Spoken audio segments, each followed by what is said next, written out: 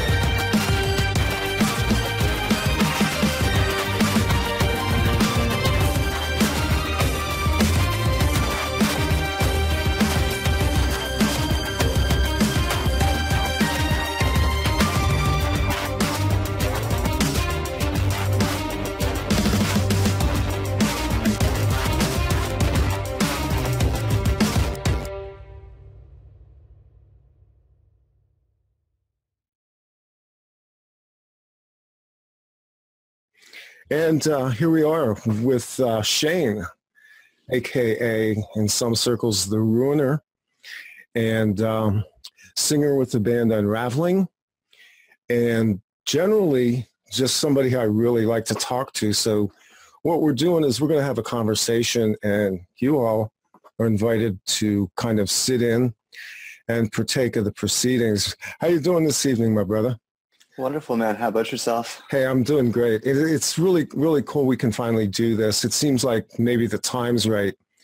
You and I have been talking for quite a while now, privately, and amazing conversations. You know, it, kind of a kind of a meshing that goes on. You know, personalities and things. I, you know, when I first remember seeing the the blog, the Ruiner, I'm thinking, God, this guy's probably some kind of kick-ass crazy man or something. And, you know, I get, I get to talking to you and I find out you're like one of the mellowest people I've ever met. And frankly, you know, one of the deepest people to talk to in terms of a connection, uh, somebody that, um, you know, we kind of, we kind of go deep and we're comfortable with each other. And I hope that's always the case. And I hope that's the case for this conversation tonight. So again, welcome Shane. And, uh, you know, we kind of scheduled this around, uh, well, we didn't schedule it, did we? We just kind of, it's an impromptu. And I finally just said, what the hell, let's do the conversation, let's record it. And uh, we got a lot of ground probably going to cover tonight, but I don't really have an agenda. I'm just going to kind of open up, you know, a few few topics along the way, and we're gonna we're gonna riff through them.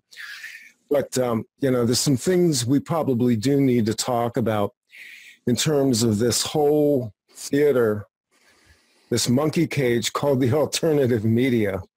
And you kind of kind of sense where I'm going, but you know, I I, I don't want to drag. And I I think I said this before. I don't like dragging people into my jackpots. Um, you know, I've been in this alternative media theater for about 10 years now and I've seen people come and go, and I've seen the theatrics that people play. And frankly, I've met a hell of a lot of nice people along the way that are sincere and are putting out good information. But um, I think you and I agree that there's something else going on out there in terms of the kind of things that get said and the kind of triggers that are planted and the the language and the theatrics that is going on. And I want to steer this away away from personalities as much as possible, but you know, we may name a couple names along the way here. One of the more disturbing things, and this really goes back, I guess, almost a year now, certainly around last summer, I remember uh, a lot of discussions that went on in different groups. And part of it was um, centered around what was at the time Cosmic Voice with my friend Thomas Williams your friend as well, somebody that we, we share as an acquaintance, he and, he and his partner Chloe, about what was being put out um, specifically by Corey Goode and David Wilcock and Gaiam TV with the disclosures about the blue avians and what that really was and how that played into a much darker scenario that was being kind of dangled out there, I think capriciously and, and recklessly. And at the time you you posted that we needed to be very careful about this, that this was, and, you know, let, I'll try and be accurate, but correct me if I'm wrong, that this was in fact a, a government ops project code name uh, being the Blue Avians.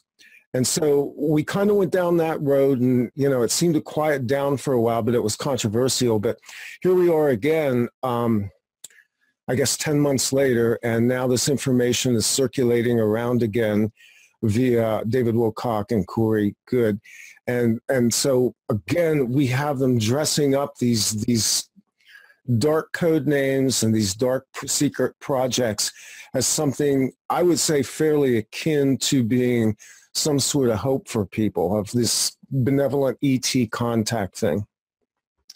You want to you want to run with any of that? well, I mean, going back a year now, um, I've been asked the same sets of questions about a blog I wrote, the, the Avians blog. Specifically, what I said was that it was something that was run as kind of a test. Uh, channelers would have picked it up. Various people in programs would have picked it up. Um, most of them would have known kind of when they got it that it wasn't real. You know, it would have left an imprint of, of, of not real. But some people did write about it. Some people have talked about it in social circles. It, it got around. And so when I found it coming back around this time, that was kind of when I um, got a little bit up, uh, a little concerned with where this could go. Like why, why now? Why through this channel is this being picked up and broadcast? Right? Yeah um, into the alternative media is not where it was ever meant to be. It was not, you know, something that was done to mess with the alternative crowd or anything like that. And here, here it is, right? I've avoided the answering the questions mostly out of respect. I've got no personal problems with any of the people involved. Um, I said what I said, not meaning for the the public to hear it, right? It wasn't. I know it was a public blog, but again, I've explained this before. It was intended for a group of my friends that right. knew what I was saying and why, right? And um, everyone else kind of picked it up and used it as a weapon against Corey at the time, and that's kind mm-hmm. of what made the ruiner a character in the alternative media. So um, after a full year of avoiding the questions, I, I now see that the narrative has gone on a complete 180 if we go back to the beginning, these were being sold as a benevolent race, six-dimensional race coming down, going to save everybody, right? Mm-hmm. It was, that's most recently, now they can't evolve themselves unless we do. What does that sound like? Doesn't that sound like a narrative we just heard with maybe a mantid race or maybe a reptilian race or other races that, you know, would just isn't that called piggybacking and isn't that something that we should be concerned about? And at this point that's why i kind of you know if if people still want to ask that question then i will give an answer to it because that's just wrong. You can't after all of this time turn around and to try and twist the hopium that you sold everybody into something else and pretend like nobody's going to notice. So what do you perceive as the change in the narrative uh, from the standpoint of the people who are putting this out? Um, I, I, think the correction was made and it was made publicly. Obviously, obviously, they used the material that was in your blog, but very publicly the correction was made on the record about what it was. And so now it comes around again. And this is like, um, some other people, let's say that I've made acquaintances with over the years, once they begin to spin the stories, the stories seem to evolve and change and shift. They'll even become contradictory over time. They'll go back and rewrite the narrative in a certain way. Shane, what do you see as the payoff for all of this in terms of putting this information out this way, given that the average person on the street has no clue about what we're talking about. And even within this audience, this is not like, this is not a viral meme on YouTube. It's not being splashed all over millions of web pages, but it is a subculture in a lot of ways. So what, do you see here as, as, as the payoff for all this? Depends on what level you want to look at it from. Um, from people who may want to confuse the alternative media it, it makes a lot of sense, right? Because you're, you're getting people to run around in circles, right? Because this will happen now, and then the next thing you know, there will be another race that comes along, and they're going to save us, and and we'll go in the same circle, right? Yeah. So there's that. Then there's the the personal level of the people involved and what they're gaining from it, right? Don't want to speculate as to what that is or is not, but obviously there there must be something there, right? Yeah. There's this ultimate theme of creating a monster and then saving people from it and promoting whoever is saving them from it and moving on to the next monster, right? So yeah, it's basically endless looping of savior programs is what we've tended to call it. Um, and you know, I've named the names, the people that want to go look on the website at offplanetradio.com. Just scroll down the page, look at the blog area, and there's some articles there that I put out. And I did name the names, and that's because they're public figures and scrutiny and criticism is well deserved just as you know i'm scrutinized now you're scrutinized as well because you you you know unfortunately what happened was you became this reluctant figure in the media as a result of something that you were doing that was almost kind of like a covert operation. And uh, I know it was difficult for you. I know that you sort of resisted it in the beginning and that, you know, as a result of coming out and being more high profile, you know, there was some pain involved with that. And, you know, people need to know that, that, that uh, the internet has taken people unawares at times and kind of thrust them into positions that I don't think they were either prepared for or signed up for in the first place. Yep. And, and, I know that's the case with you. I mean, we had a lot of conversations about it. You know, the things that happened in different, um, well, different groups, and uh, the things that happened as a result of, let's say, the back channel that goes on in in this media outlet. So, you know, you you've been very kind of controlled about the way you've brought this information out. I would say you've been gracious. And, you know, we want to extend that to people. I, I was on I was on this network, Conscious Consumer Network, on Saturday, and one of the concepts I was trying to explain was the healing that needs to occur with the race, with the human race. And it's not going to come from outside of this race. It's not going to come from aliens or any other type of distant gods or anything like that, that we're responsible for ourselves and for each other. So when we take people on, we also have we have to hold out the hope that eventually there is reconciliation, that people correct their errors and that they move forward with goodwill towards the others of us out here that are trying to do this work. You have any thoughts about that? It's always important to admit when you're wrong, obviously, yeah. right? Yeah. Try and make amends if you have to or uh, correct yourself, which yeah. you know, I've done it. I will continue to do it. If I keep discovering, if I discover again that I'm wrong about something, I will correct it. I've seen you do it. Yeah. yeah. People should do that. It's, it's not, it, it's not as difficult or as scary as you may think. You know, people don't, they're not going to turn on you for making a mistake. Everybody makes them. If nothing else, then, you know, it'll, it'll humanize you to them. And that's what we should be doing anyways, right? I think a lot of my problem with all of this is just the putting people on pedestals to begin with and looking up to someone as a as a information source to begin with yeah.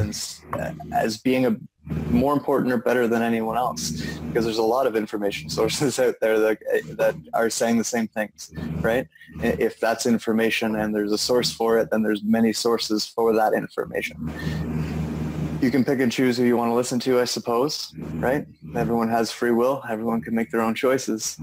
I think you should just be aware of what you're choosing and be aware of what you're listening to. That's why it's important to question um, your own sources and question yourself. Question what you're hearing and what you think you're taking from various things. Yeah.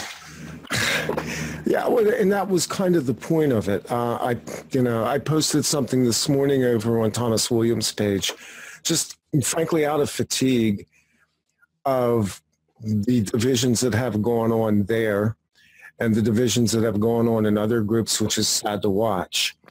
And, you know, one of the things that people who watch this show listen to it on the podcast, hear the work that you're doing, or frankly, anybody else in this medium have to understand is that some of us had a mission to communicate information, to be facilitators of information, which is kind of, you know, that's kind of been my role over the years, is to kind of midwife some pretty, at times, brutal information.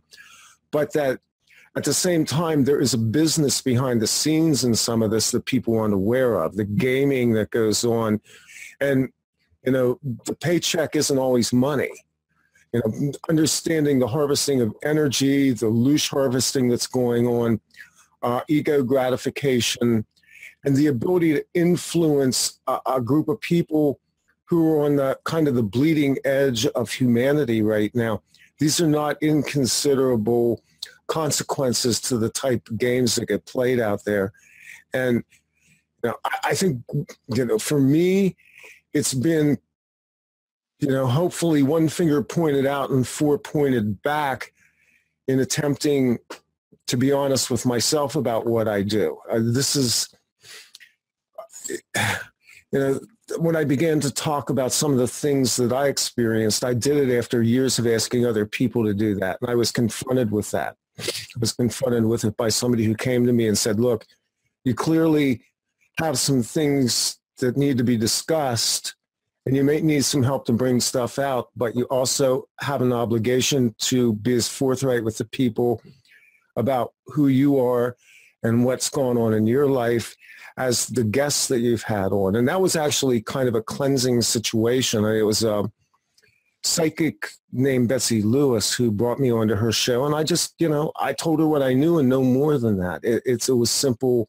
Okay, this is my story. This is what I think happened. That's it. I'm not going to embellish it. I don't have a linear narrative. A lot of the things in these circumstances don't make nice, tight stories and packages. Very true. Um, I'm not sure what people think they, or I'm not sure what people expect really when people are telling these stories to them in terms of it all being coherent, right? Because for us, it's not it's you know we can't present it to you as coherent because for us it's not. We no. we can only give it to you as clearly as we've figured it out for ourselves. And none of us have got it figured out perfectly clear. I mean do you have does even if you've never had experiences like this do you have your whole life figured out perfectly clearly? No you don't right? Like there's memories that are fuzzy. There's things that you don't think about or didn't remember or i don't know. There's the expectations are really high and I, I, guess it's it's good that the expectations are high because it means that people are questioning and that's very important. But I think that um, as long as everybody's being honest with themselves and trying to be as clear as we can that's really all we can do. Yeah. I, I can I can tell you what I believe is true and tell you at the same time that it may not be true it's just what I believe is true, right? Yeah. It's and, and I'm not going to tell you it's not true just because I can't prove to you that it's true if I believe that it's true. If you don't want to hear me say that it's true, don't ask me whether or not it's true. you know, it's yeah, it's kind of like ask me no. Yeah, it's kind of like why in the hell are we even talking here? Yeah, you know, exactly. I, like I like I said, you know, in a couple of shows. Um, we'd like to tie everything up with bows. And, and you know, like you and I have talked now for, you know, several months behind the scenes. I've done that with a lot of other people, people who I, it may take me a year sometimes to interview someone. And that's just, you know, that's just the weird kind of convoluted nature of what I do. I have a lot of people I'm talking to, and I know you do as well. And quite honestly, the most honest conversations sometimes are the ones you have with yourself when you go, God, I, I, listen to myself and I'm not even sure I would believe me. You know, you go through the loop of thinking, could I be wrong about this? Am I imagining this? Is this delusional? I mean, there's, there's a psychic break that takes place as you're examining yourself. And those are some of the most healthy responses in terms of vetting this information on a gut level to yourself. Because if you don't believe it, you shouldn't talk about it. and you should not ever believe that you know the whole truth about anything because we're not even objective observers of our own realities. Nope. it's an amazing uh, thing. I've I've never met a being that knows everything. There's I just don't think that it's it exists. You know, like uh, even on the inside, there's no one person who knows everything.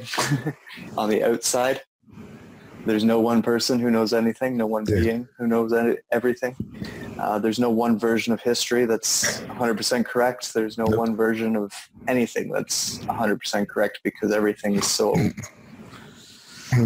it all depends on the observers, right? And the observers have influences not only on what's being observed, but how it's being interpreted and then how it's being written down. So yeah you know, it's a we all played telephone in kindergarten, right? exactly. Yeah. And, you know, and uh, we have to be circumspect about all of that. The honest communication is me bouncing things off you, you bouncing things off me.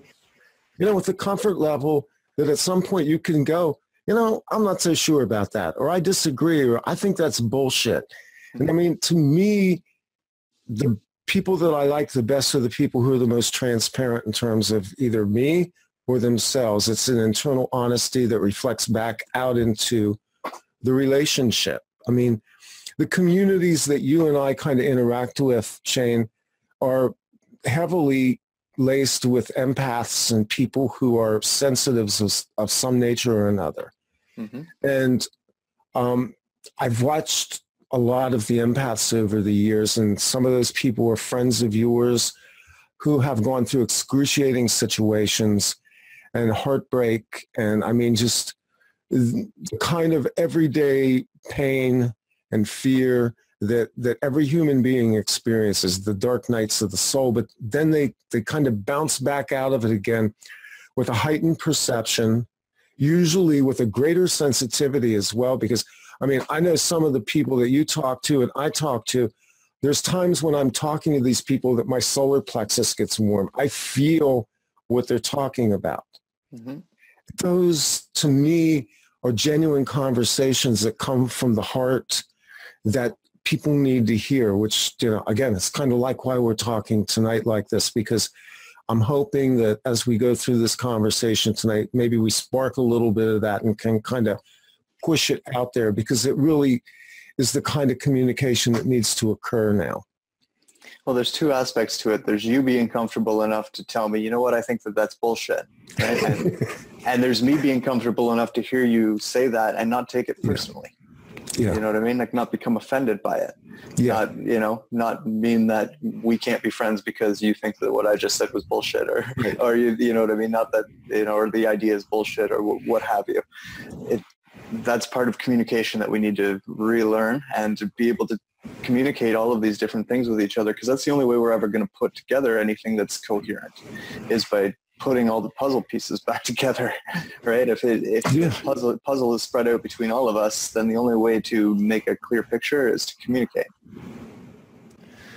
eh, you know one of the things that we've we've talked about and you you wrote about this in your blogs and it's sort of one of those central themes because of who you are and where you came from is the concept of telepathy and being able to mentally perceive people around you at various stages and levels. And we're now living in this time that we've got this escalating energetic that's occurring in humanity. It is a it is a bloody struggle. I mean, this thing is like, you know, maybe I, I, think I probably shared this with, with you before. I, I've shared it with the listeners. I knew all this stuff was coming when I was a kid. I was told this. I would have never expected what I have seen so far and what I believe is yet to come as, you know, the necessary steps for humanity to just move forward a few inches at a time because that's what we've been doing. You know, right now, as a race, we are sort of the baby step phase of waking, waking up, um, advancing consciousness, which is occurring on a seed level in the race itself. And we're dealing with the fallout that, that comes from that, the, the, the wild shifts that are going on, um, the interactions that I think we have with our own emotions, as well as the motions and emotions of the galactic and universal movements that are occurring. And those, those amplified forces right now make everything that we talk about in this show tonight, you know, probably a little more precarious because we want to be careful. We want to lean on the side of grace in terms of the people that are out there. And I'm not blowing smoke here. I, I, the more I interact with people and I find people who are genuine and real, um, I value that because I realize how rare it is in the culture right now. almost any of the narratives that are playing right now have one thing in common, and that is that it's kind of a time of making choices within yourself and doing work within yourself and and being able to project that work or be able to project that image out into the world. Um, if if we follow that, then it doesn't really matter what narrative you follow. It, if you, if you just look at it that deep. At the same time, you've got to be conscious of where that energy is going. You know what I mean? Like you, part of making choices and part of being self-responsible is understanding how you're generating energy and where that energy yeah. goes once you've generated it. Yeah. And and if you're opening vectors and just show, throwing things around all willy-nilly, you're not helping anybody, especially yourself. And it you know helping others starts with yourself so let's start there let's, let's control how we're how we're throwing this energy around and what we're doing as amplifiers to this energy. And that comes with a lot of responsibility. You know, it comes with the responsibility of what you're putting back out in terms of what you say to others, what you're um, regurgitating in terms of information, um, how you're handling your own situations and interactions with other people it's it's all part of making choices. Every every one of those is a choice, and that's what we mean when we say that it's a time of choice. So you you've got to. It's almost like we're proving ourselves to the universe at this point.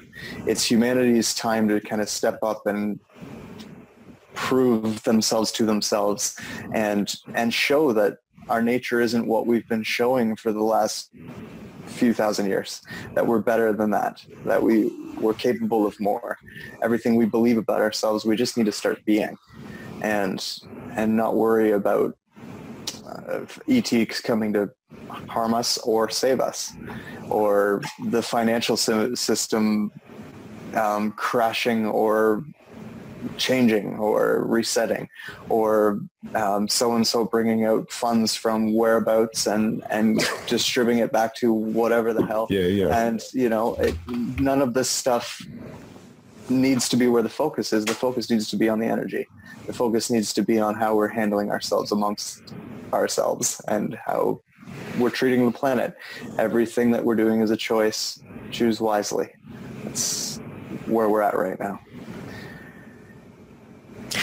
It's interesting. The divisions continue. We think it's just within our small circle. And I'll bring this up because it's kind of been in the front of my mind. Um, Tom, Tom DeLonge of uh, Blink 182 has been now going very public about his belief in UFOs and extraterrestrial intelligence. And, you know, he's, he joins a pretty long list, frankly, in my research of, of musicians and specifically people in the rock community going back to John Lennon and Jimi Hendrix in terms of a kind of soft disclosure that's occurred in music. I've gone back through album titles and music tracks for 40 years and been able to find where these little confessions have kind of been sneaked into things.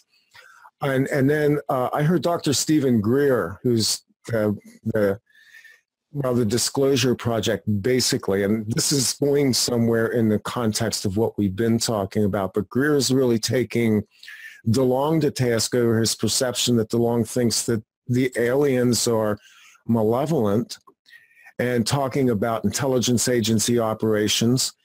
And Greer, of course, has obviously espoused the policy for a long time that all aliens, all ETs are benevolent and that um, disclosure is imminent. Now, in that range of remarks somewhere, it has less to do with the perception of conflict. I have not been able to find where Tom, Tom DeLonge has really said anything about malevolent ETs per se. He's sort of at the level where I think he's experienced something. I don't think he's quite talked about it yet. And I, I, I know that he's been out there looking. He, he's looking, you know, when you go looking for something, you have, you're, you're looking because you sense something is already there. Mm-hmm.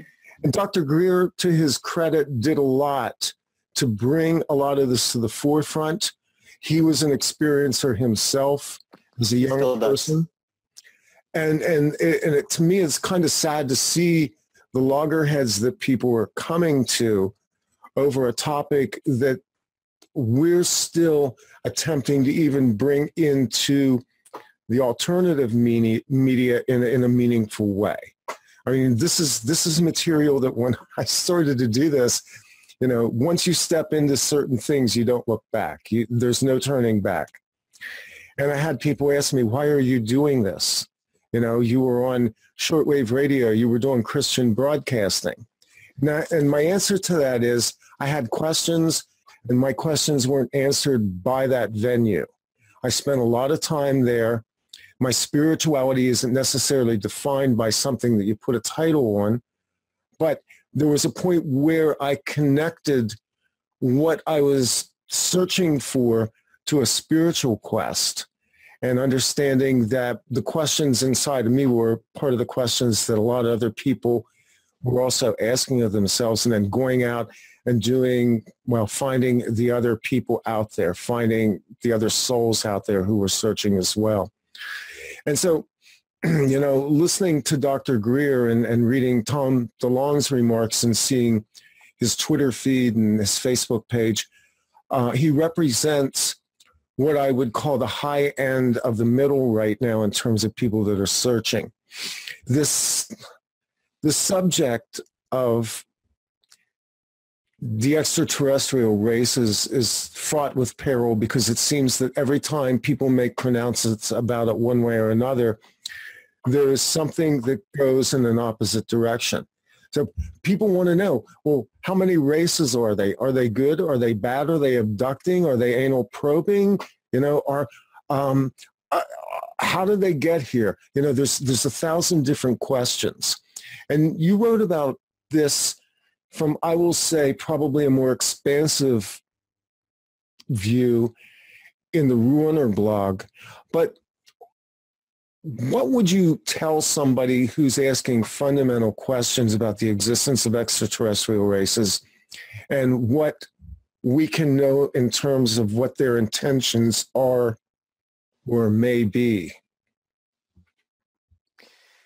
There's no one intention. There's, you know, there's, it's got to be lots of different groups, right? Like, um, you can have a conversation with someone at a coffee shop about what people are like in a country that you don't live in and and make some generalities about the way that they think or the way that they act or the way that mm-hmm. they are or what they believe or something like that that's on the same planet as you right? that's mm-hmm. that, that's that's literally like miles away from you. What if we're talking about a different galaxy and a, a different part of space? You don't think that that still stands? You don't think that on another planet way out there that the difference between Chicago and Germany is a big difference, right? On that planet mm-hmm. too? Right?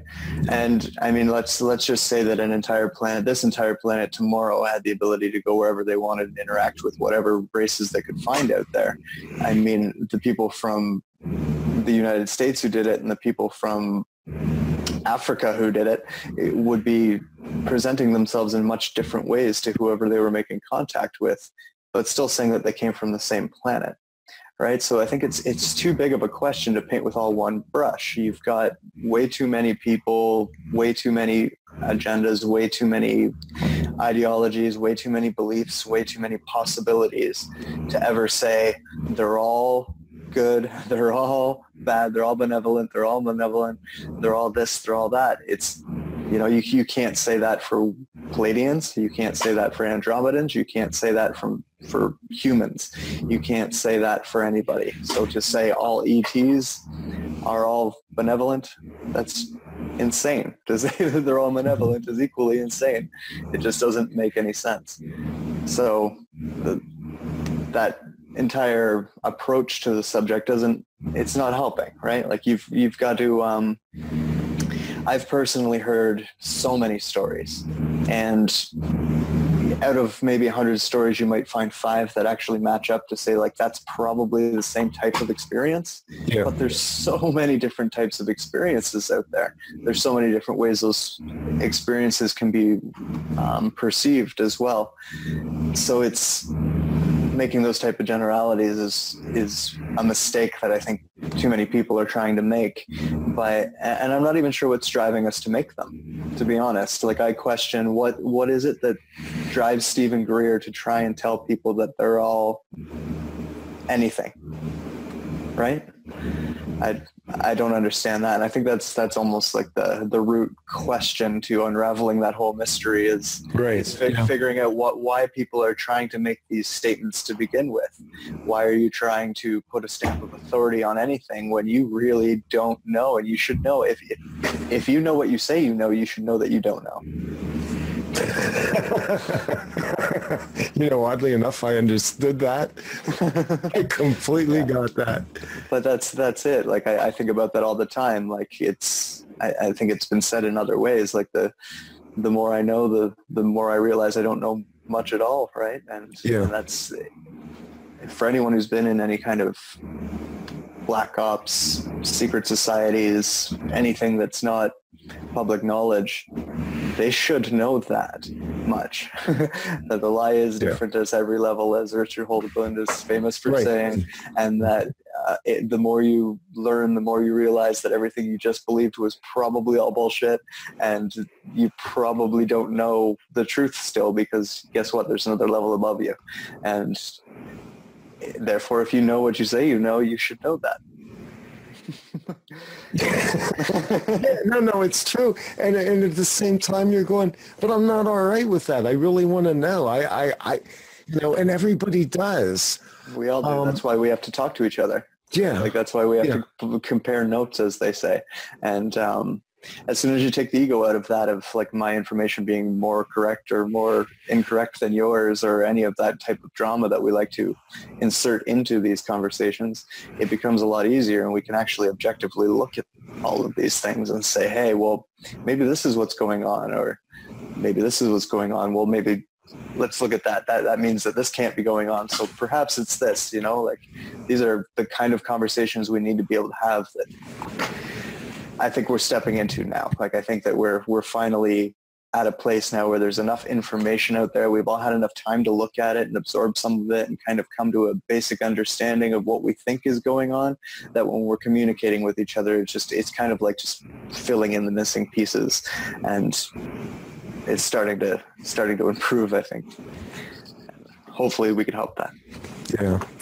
And, and that's really the point of you know, both the, the, the private conversations that we have and then doing something like this because, you know, again, iron sharpens iron. It's a, you know, it's a great saying. I mean, it, I, I fire off you, you fire off of me. We're kind of, we, we reach a place where we can open our communications, we open our perceptions. It's an arrogance to think that you know much of anything about anything, much less everything about it all. Yes.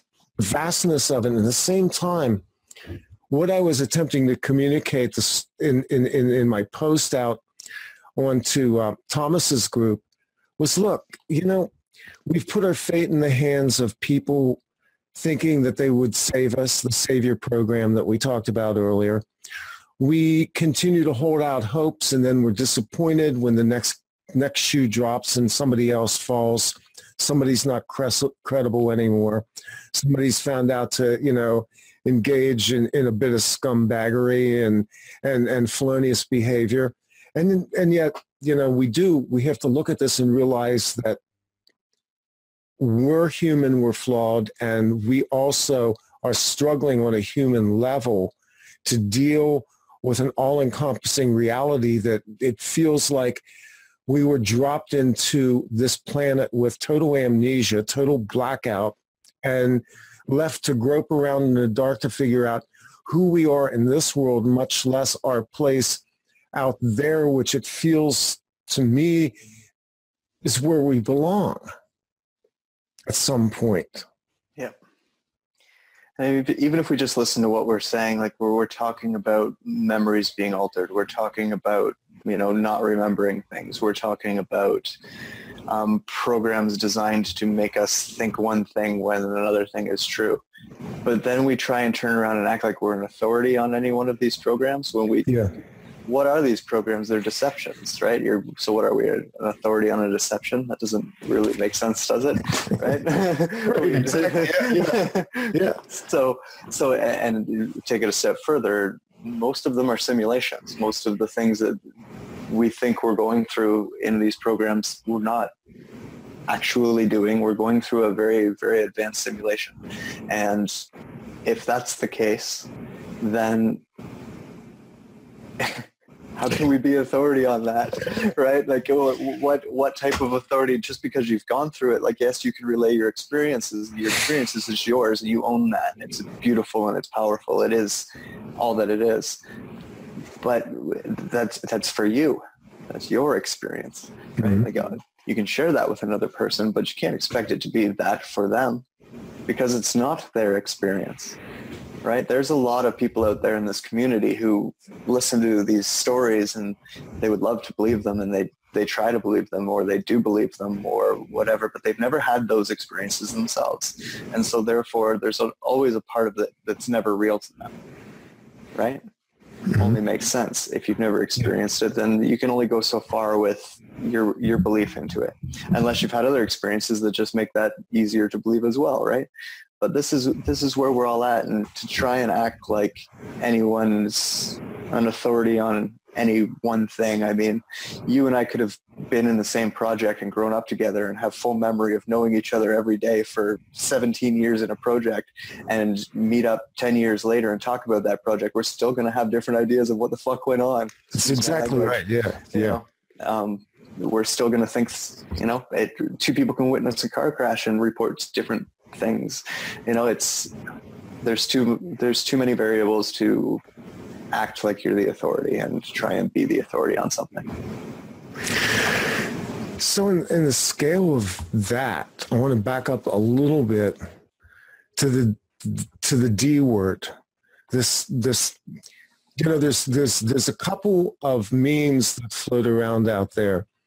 Um, and people who have listened to me for a long time know that I have my pet peeves about things, and and one of them is NESARA and the CVs and the idea that um, we're going to liberate enough gold to finance people being free somehow.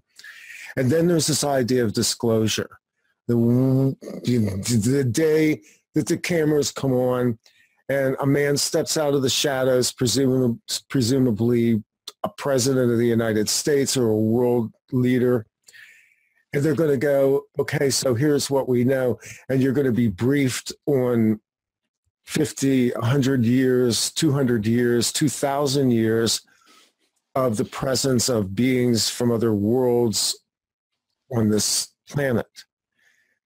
And that's what people were looking for. And it's amazing to me, Shane, to see how they've never really done the research to see what lies even in our ancient past that tells us truths about ourselves but we don't we don't want to deal with that. You've kind of gone on the record pretty publicly and said look you know disclosure is not going to happen.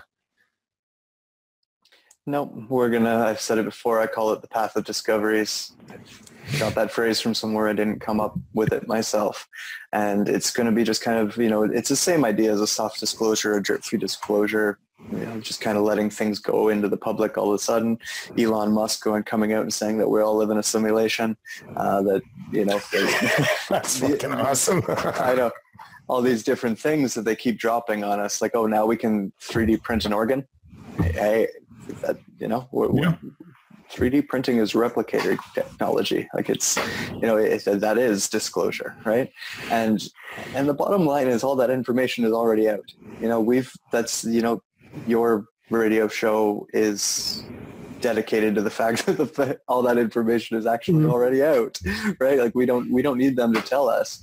We it's almost like we just need them to admit it, and then you have to ask yourself, well, what do we need them to admit it for? What do we need their authority stamp on it for?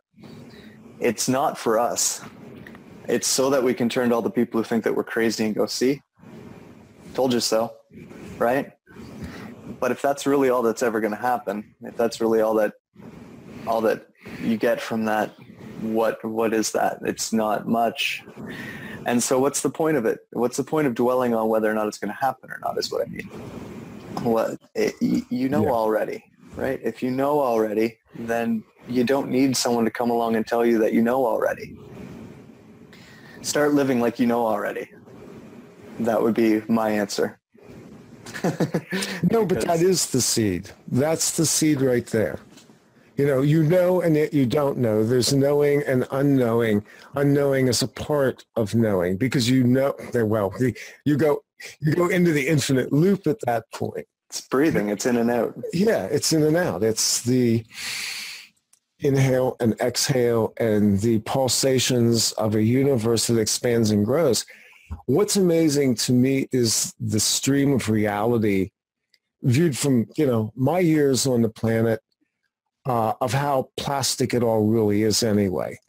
You know, we perceive a thing and the thing seems to change. We imagine a thing we manifest the thing. We do this all the time. This is what's incredible to me. People talk about manifestation like it's some uh, juggernaut. It's not. We do it all the time, and yet people don't understand that they are manifesting on a constant scale, that everything around them is a physical materialization of a thought form. And, and you know, when you get to the level where you start to understand that, and you know, I don't want to be frustrated with people over this because I get it. You know, I look at the state of humanity right now. I look at the desperation. I look at the poverty, the death, and all the things that are going on in this world. And I understand the desire to change that. But again, we come back again to the Savior programs and why that exists and why we have this gigantic media circus let's talk a little bit about manifestation and, and how how you think that works because I know you do it in your life. You're an artist, and it's a, that's a critical part of being an artist. You are literally pulling things out of your head and putting them out there energetically. Mm-hmm.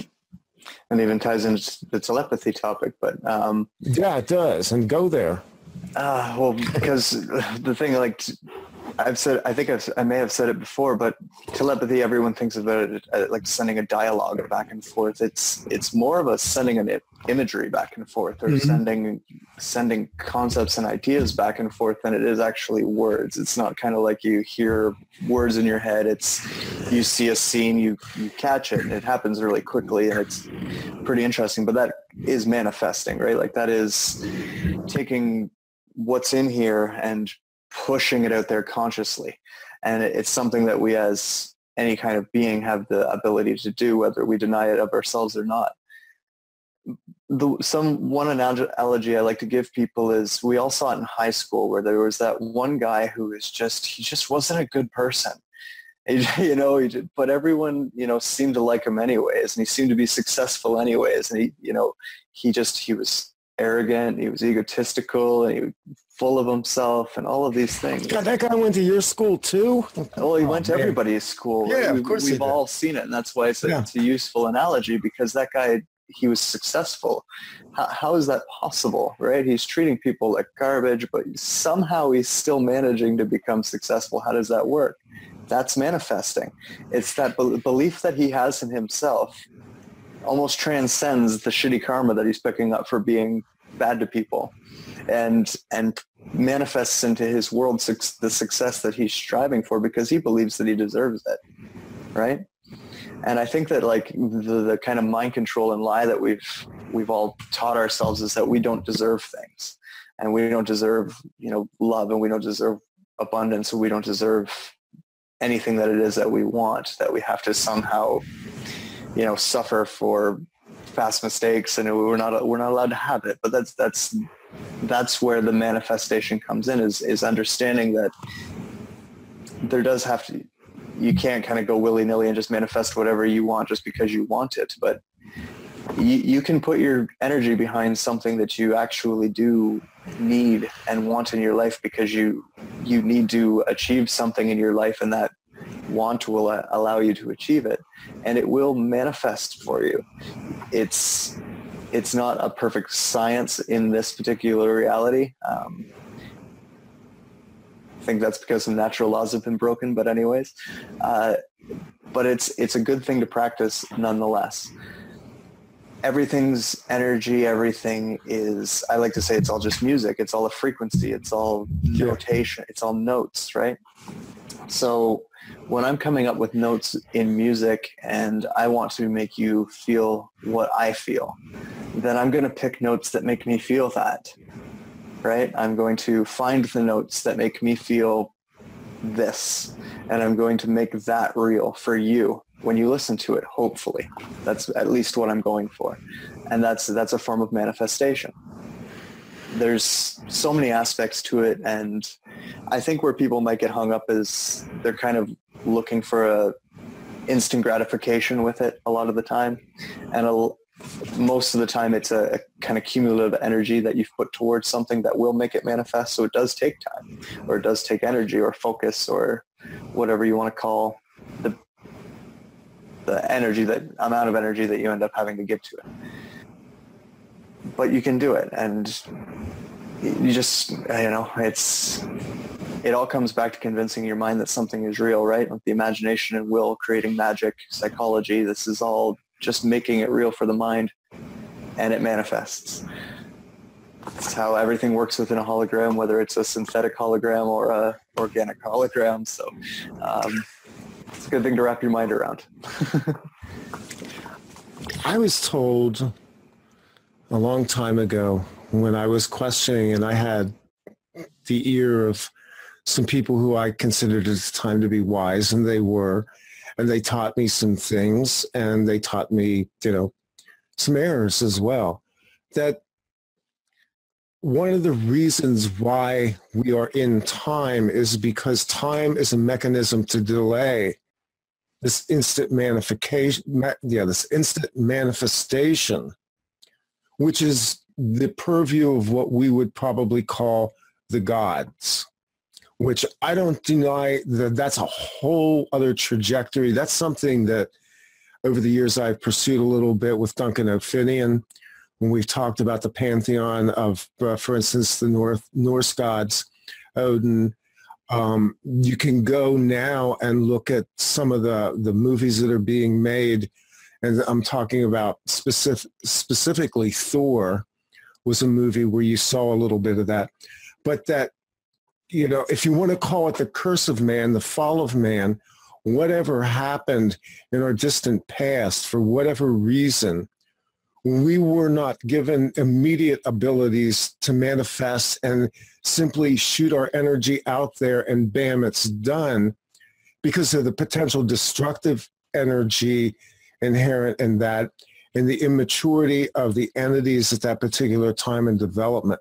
So that's kind of always been my core understanding of that. Do you agree with that? Do you disagree? Is there something that's missing in that equation? I think that I, have heard it as well. Um, it's definitely a theory that is uh, well adopted uh, for a variety of people that I know.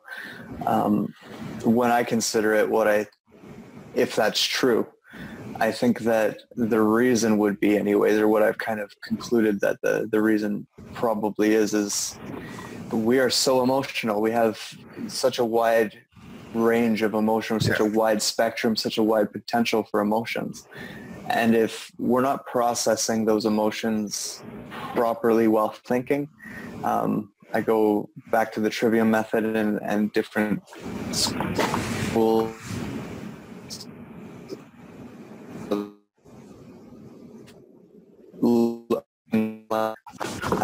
then we it, could be dangerous, right? Because we we like we see it in society all the time. Like we're seeing it right now in various parts of the world and in big, highly publicized events like the migrants and stuff like this, where people are becoming very reactive, and it's you know. It's because they're so emotional about something. It's because an emotion is driving that reaction, and whether it's a the right in their in their feeling, like their emotion or not, is almost irrelevant because they're not controlling their action in a balanced way. And I think that if that's true, if that's that's what's happened to humanity, or that's what the fall of humanity truly is, that makes sense because of the fact that I, I see it everywhere. You know, like I, I see people not being able to put their thoughts and emotions together correctly in order to have a good in, output into the world. Yeah, my gosh, let's look at road rage as an example. You're, you're hurling a car down a highway at 65, 70 miles an hour, and somebody flips you off, and I have seen people do it, you know, and I felt it myself as well. There's a triggering that occurs and all that, but, you know, you're now dealing with, you know, four or 5,000 pound machine underneath you with a lot of horsepower and the potential to theoretically really F somebody up and all of a sudden you go, wait a minute, that's that's a visceral response that came from inside me that has really lethal consequences if pursued. It's true. I mean, like going back to disclosure, one part of the disclosure that people seem to want is kind of like a bringing all these people to the, the town square and hanging them. You know, yeah. Like that's that's and that's the type of reaction I'm talking about. You know, like that's all that's really doing is perpetuating the same type of behavior, right? And if if is that what we want to do? Probably not. So maybe maybe we need to reconsider how we feel about these about these things before we act on them. Yes, punishment, you know, our repercussions are in order, but maybe publicly hanging them just because that's what we felt feel in the moment isn't the way to go, right? So there's lots of different scenarios where we're tested in that way. We're we're put into situations all the time where you know someone's pissing you off and you have to bite your tongue or someone's making you overly happy and you don't want to show that because maybe you're you know in the middle of a business deal and you don't want to play all your cards at once. Like there's there's so many scenarios and and I think that that's that's part of coming to know yourself and that's why you know all of the spiritual teachings tell us to go within is because that's where you learn how to do that you learn how to process those feelings in a healthy way. Going back to music, I have bad things that have happened to me in my life and negative emotions that come from that. And so I do heavy music where I get to scream and I get to sing about those things in an environment that's suiting of those topics. And I get to process it in that way that doesn't hurt anybody. Hey, speaking of that, else. speaking of that, I look at the clock and we're ha- we're halfway through, and so why don't we take a break at this point? Um, we're going to play some music on the break here for the folks who will be watching this on the network, and uh, we're going to play some unraveling music.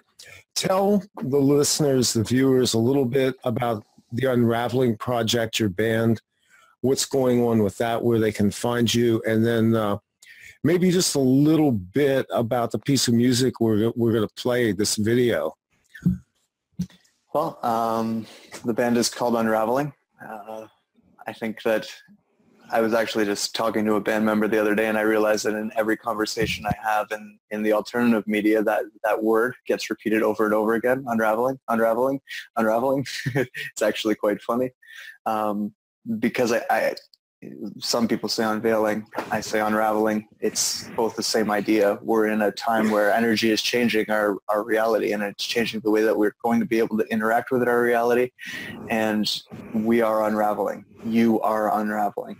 We, um, we do music that's kind of heavier. It's uh, similar to like the Nine Inch Nails meets Linkin Park meets System of a Down type type ballpark. Uh, this particular song, Tangled Hope, is about kind of my relationship. I actually say at one point a dance that I have with being hopeful about the future and our ability to to do better and the dark days where I don't have that same type of hope because we're all we all have those days, right? So we do. Um, yeah. yeah.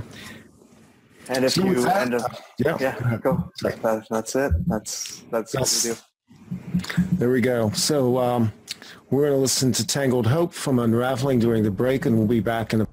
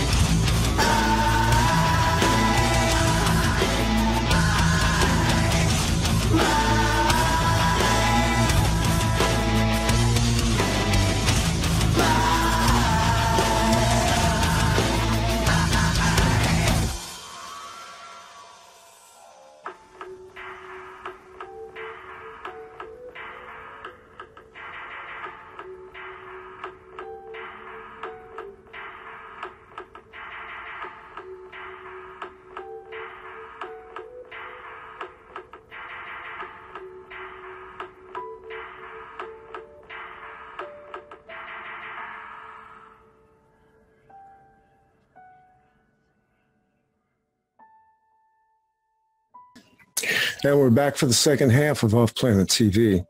I'm Randy Maugans, and we are here with Shane, or AKA the Ruiner. But uh, we prefer to call him Shane because we don't really know the Ruiner guy. Um, you, uh, you've now seen the video and uh, experienced the music a little bit of uh, Shane's band and what he's doing, which is, you know, this is performance art. It's video, it's music, it's theater. There's a lot of embedded things that go into it. And the part that I really wanted to talk to you about was music, the creative process, what inspires you, what it means to you. I listen to this kind of music and it it really does take me back. Uh, I grew up on the in the age of the birth of heavy metal. You know, in the 70s, I remember going to see Black Sabbath and just the incredible energy that Ozzy and Tommy and the guys were imparting on stage. It was dark, it was theatrical, and at the same time, when you go back and you listen to the music, you listen to a song like War Pigs, um, there's something there. There was something in it that, that was a, a heart for humanity. And Ozzy's image aside, you know, it was very clear that they were communicating things that then were out in the culture. Your influences, which include Nine Inch Nails and Tool, as two major influences, are obviously bands that tap into the pulse of the culture from a perspective of another generation, the reality that you grew up with and the things that we're dealing with now. And some of it's timeless and some of it is of its own generation. Talk a little bit about how you tap into this and what it what it inspires in you. Well, I guess for me, um, it was a, a lot of it was timing wise. I think it was kind of the early mid to late 90s that a lot of that music was coming out like the nine inch nails and and tool and rage against the machine and a lot of these bands were it, it was a different type of sound right? Like nirvana had had changed things even from a mainstream perspective and and that had trickled down to more people listening to heavier music and then a lot of different genres of music. I mean heavy metal splintered into a, a thousand different genres of music right? So uh, a lot of different things started coming out and um, for me personally, I mean, I, I grew through school and stuff. I used to do a lot of like performing, like uh, singing in musicals, plays, stuff like that. I really loved, uh, like I would sing Disney songs and stuff like that. I still, uh, I, I've actually opened a, a show with a song from Aladdin before. So, um, uh, I really liked some David Bowie stuff because I saw him in Labyrinth. And then um, when I saw, started getting into heard Nine Inch Nails, and I think that was Nine Inch Nails was really the first one that did it for me. I can't remember the lyrics, but it was there was lyrics that were triggering things that I had experienced. Right, like it was almost like a narrative. Like way I put it is, it was almost like I wrote the lyrics and it, it had a, a very profound effect on me. Yeah. And I and I started listening to it just to try and see if there was any more of that. And I remember at first I couldn't even stand the music. Like it was kind of just noise that I was listening through to try and pick out what he's saying. And then the next thing you knew, I was falling in love with all of the different type of noise, and I was realizing why he was putting those words to those noises because that was how it was making me feel um, you know, so I, I, think that's where it came from for me originally. I, that particular period is where I decided that being in a band and, and singing was something that I wanted to do. Um, I realized that a lot of people were getting away with saying things that I would like to be able to say and, and didn't feel like I was going to get away with saying anywhere else through music by re- reading lyrics. You know, you, you mentioned some of that as well, where it was like people have been dropping things in songs all through the 60s and 70s. And even if you go back further, you know, you can go into some... Uh, oh, I think it's been there forever. I think... Yeah, it's like Roy, Roy, Orbison of all people. Like, Roy Orbison. Um, go back and listen to Mozart, for instance, yeah. the Magic Flute. Yeah. Listen to Moonlight Sonata. And, yeah. and you know, you understand... Going beyond words. Yeah Exactly. Yeah.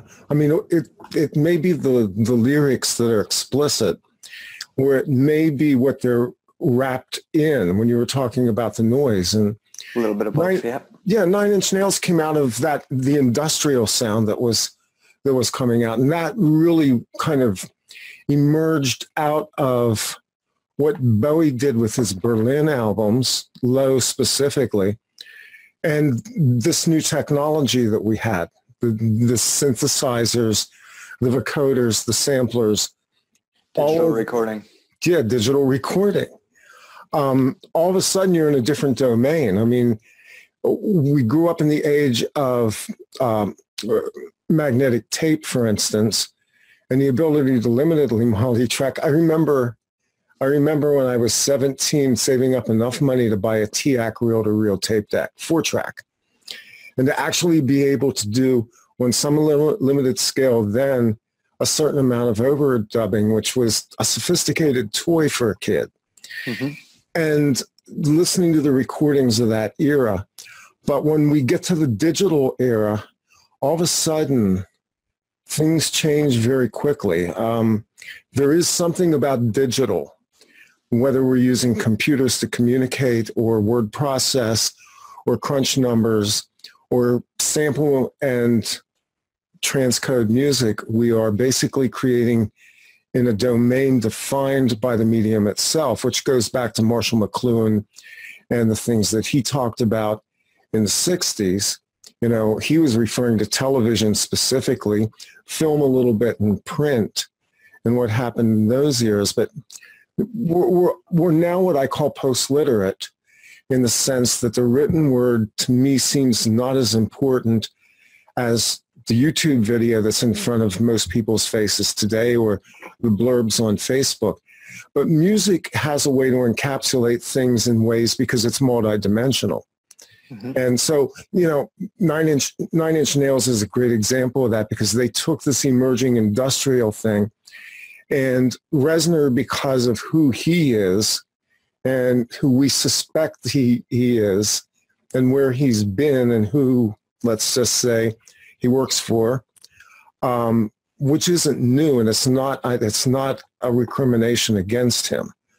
Um, brings into the dimension again this darkness and this catharsis that goes on inside the artist, which is a lot of what you're doing. It's what I saw in that video. It's what I hear when I listen to your music. Well, we all have it, right? Like we all, um, you know, like thoughts bump into your head that you don't even mean to think, right? Like the, the, the mind's a funny thing and, and influences, environmental and otherwise, are, are all uh, factors in what bounces around in your head and things can get stuck in there and it's not healthy to just let things fester. So it's always good to find some type of outlet. It, you know, music is mine. Uh, maybe yours is painting or you know, driving. Uh, there's there's so many different varieties of ways that you can use to process different types of energy, but having an outlet is so important and uh, a creative outlet that allows you to express yourself as well. You know, um, a phrase when it comes to Nine Inch Nails, I remember reading in Rolling Stone that has always stuck with me was that as much as Trent Reznor is screaming "fuck you," he's always also whispering "love me." Right? And that's true. That's true. That's the that's you know that's the the part of the artist that I think that we all get drawn to and relate to, and um, you know with with all of our favorite artists, whoever it is for you personally, you you relate to something within them that's true to you, and I don't know. There's you know martial arts. There's um, creating video games, there's making movies, there's a million different creative outlets out there and, and flavors. Um, but music seems to be something that almost all of us can get into. I think everyone, like the, the majority of people have a musical artist that they love or a type of music that they listen to all of the time. And I think that goes back to what I was saying about everything being frequency and music, right? So um, I think that certain artists started actually, not that that inf- that information was new or the, the tactic was new or the, uh, tactic makes it sound dirty. Um, the, the, the method was new, but figured out again how to use music to make people feel things and and kind of draw where people's attention's going in um, I guess esoteric ways or ways that have been occulted from public knowledge for a long time. Uh, going back, they, they've changed the tuning of music. They've changed, you know, they've uh, the common uh, time signatures. Con- yeah. Um, Concert pitch, time signatures, everything. Like and then they moved us into yeah. digital, which um, if if you want a kind of good idea of what we lost in that or what changed in that, watch the documentary Sound City with David Grohl of Foo, Foo Fighters. Great, it's he, that's a great documentary. Yeah, it's it's a great documentary. It just kind of shows what happened to music once we moved away from analog yeah. to digital, and and what we may have may have lost because I mean it is a kind of a taste thing, right? Like we we we could just be guilty of doing the same thing our parents did with all kids today in their music, right? But uh, at, at, the same time, I do think that something was lost on a frequency level when we moved into the digital domain. I do think that that's on purpose. I wrote a blog about it called Digital Burning, um, and I, I do think that it would be nice to get some of it back. You know, to to get back to you know. Uh, non-digital recording once in a while. I, I, I wish that we could spin our knowledge of technology into to making that a possibility again, right? But anyways, uh, going off topic a little. No, it wasn't off to- topic at all. It actually captures something there that um, I've you've you've you actually echoed something that's been a pet peeve of mine from another direction, and, and that's been digital photography, because um, that was one of my muses as well. And I mean, I have thousands of, of uh, negatives and transparency slides that I shot from the time I was about 14 years old. And I had a time where I was trained by a photographer who learned the art in Switzerland and came back and taught me how to shoot, how to develop, how to print, how to dodge film, how to do special effects in the camera, all of those things. And, you know, I had a pretty good rig at one point and you know, the digital era came in and all of a sudden all of the things that we had done either optically or chemically or mechanically somehow became possible inside of a box with chips. Mm-hmm. And overnight there was an explosion. You know, it's the good side and the bad side. It's like the music industry imploded. Well, what a bunch of geniuses. Let's release all of our new music in a digital format at the exact same time that we're bringing computers out. Now, I'm wondering at the time I'm thinking, who didn't see this? Well, you know, what were they thinking? Yeah. So the next thing you get is you get Napster and the MP3 and you have this proliferation of piracy, so-called file sharing, but people forget the tax that was levied on cassette tapes for people like me who bought music mm-hmm. and recorded it onto cassette tapes to take in my car because really the you know the vinyl thing just doesn't work in a car going 65 miles an hour. Doesn't work. so we always seem to gain something and lose something in the process. I've always said that the resolution of pixels inside of a camera or on a screen, regardless of how expanded they've become, and they become very sophisticated, doesn't approximate the grains of silver in the emulsions of the finest Ektachrome film that was ever made. There's a certain magic there, and we lost the magic. And that's really what we're talking about, whether we're talking about photography or music or any of these organic creative processes, is we're bringing something out, but we're putting it into a medium. And that medium itself, again, like McLuhan said, seems to define the outcome in some way. It does. Um, magic is, well, rituals this is where it's I wanted to go, by the way. You're walking yeah. right into it. This is beautiful. magic and ritual, it's, it's convincing the mind that it's real, right? Like we're, we're doing that. And, mm-hmm. and a song can be just as, as much a ritual as the dance that goes along with it. Um,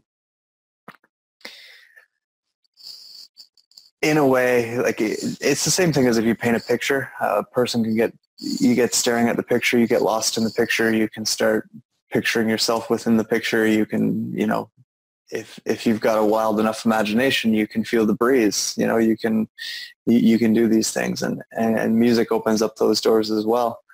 Um, it also opens up doors for people to start um, influencing you in that way as well, right? And um, any artist is trying to influence you. So, um, it, you know, uh, whether their intentions are to try and violate you or not, they're still trying to influence you. So, um,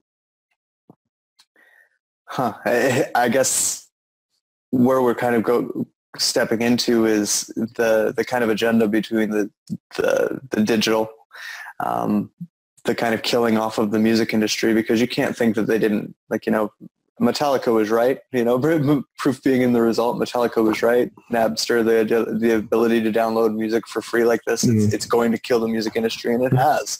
You know, like the music industry is not the same thing it was before that all happened, and that's not at all. That's, no that's fact. Um, whether they scream it from the rooftops like they should be or not, I, it's true. Um, watch. Uh, damn, what's that? Artifact with Jay Jay Jay Leto Jared Leto. Um, Jared, also, yeah. Jared Leto is an actor. He also has a band called 30 Seconds to Mars. Yes, he's also playing the Joker in a movie that's coming out called Suicide Squad that I am just like waiting to see this. This is going to be awesome. But go ahead. Uh, side note on that, uh, where, I, where I work, I got to see them in full costume. Is that right? you saw the Joker. I saw Joker and Harley oh, right. Quinn and uh, I don't remember the other character's name that was with them, or one of the other characters was with them. Anyways. Um, the rabbit trails are always interesting, folks. Yeah.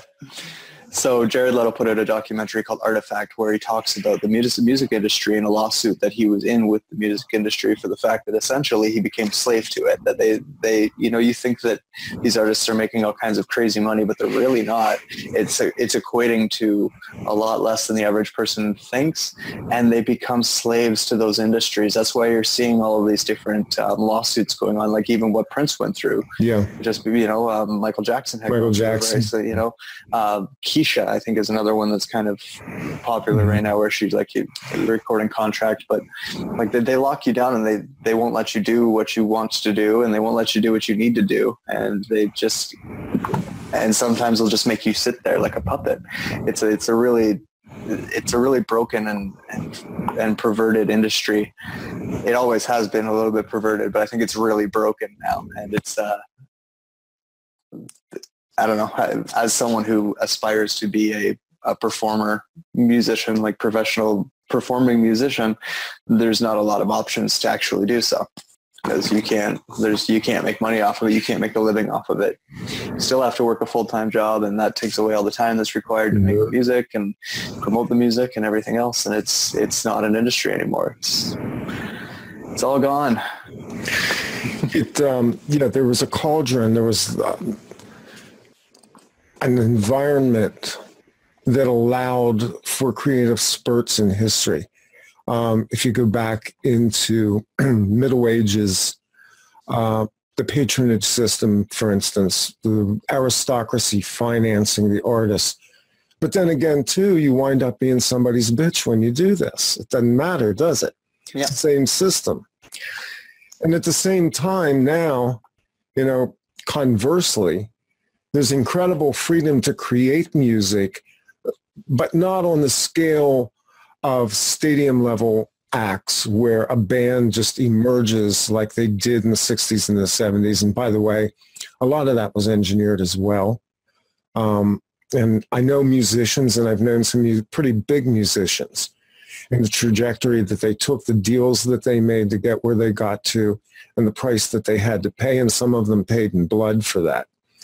So, I mean, there's ritual and sacrifice that occurs in the music industry. An old story, somebody can go dig up the show where I talked about what really happened with Sid Vicious and Nancy Spungen at the um, hotel in New York City in, what was it, 1977, because I was three blocks away at the time. Um, there is there is this ritualistic aspect to the music music industry as well. But musicians like yourself do have the ability to create on a professional scale. And just look at the video we played. Um, the music that you're creating, your band is yourself and basically a core two other musicians who play with you. Who are the other musicians in your band, by the way? Let's well, um, I, I kind of like to separate what I do in this field from them just because they don't Okay. they don't necessarily share all of my beliefs, right? So got it. um, uh, not to say that they're very well aware of what I'm doing here. They have no issue with me promoting the band or sharing the songs while I'm doing Mhm. my podcasts or anything like that. They fully support what I'm doing in this Shane the Ruiner world, right? But um, I, I, I typically don't talk about it for that reason. So I just want to just want to state that off the record, but I will Okay. answer the question. Um, they're they're they're soulmates. To be honest with you, they're they're people that I have incredible personal connections with. Um, not just them. Like there's two other main members to the band, and they're brothers. So it's and another one of their their their third brother. Like there's there's three boys. Uh, the third brother also sings on or raps on some of the songs along with me. Um, their mother uh, is someone I was also very close to. Their father has helped us out quite a bit too. So it's um, it's you know it's family to me. It's uh, That's what I was looking close to. Yeah. Because the sense there is that this is a pretty tight group of people who create together. Yeah.